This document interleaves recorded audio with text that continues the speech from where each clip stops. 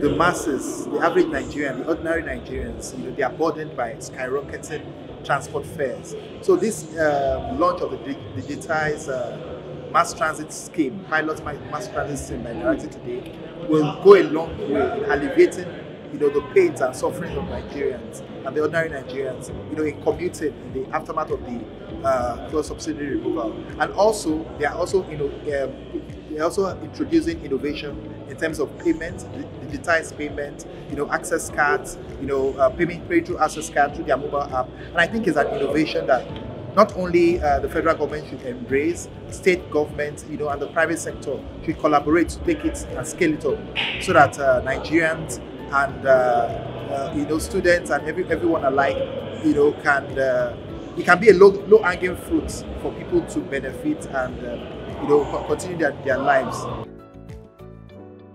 I want to tell Nairaxi we wish you prosperity in the land of Nigeria. We thank you for this invention. We support you with peace and love. One love. Thank you, thank you. We should always thank God for this improvement.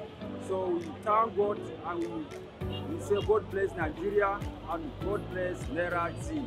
The digitized mass transit system was showcased with advanced features such as transit card, validator systems, and CCTV cameras at multiple points for real-time monitoring. This system ensures a cashless, safe and convenient experience for passengers.